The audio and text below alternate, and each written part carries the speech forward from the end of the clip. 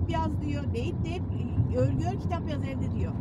Var ya böylelerine diyeceksin ki Rabbim böyle hani beddua etmek olmaz ama Ya beddua etmedim de sonuçta diyorsan Allah yaşamadığın biliyor için biliyorsun yani Ha, konuşuyor. ha dedim zaten hepiniz aynı mantıktasınız. Ablam bir ara şey yaptıydı zaten.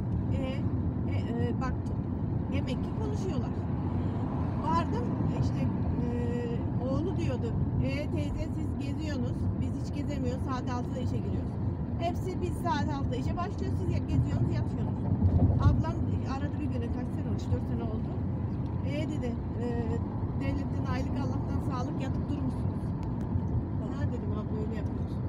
Aynı gün Salih'i aradım. Emine abla param var mı? Var diyorum doğru söyle bak. Emine abla bir ihtiyacın var mı? Bak vallahi söylemezsen küserim.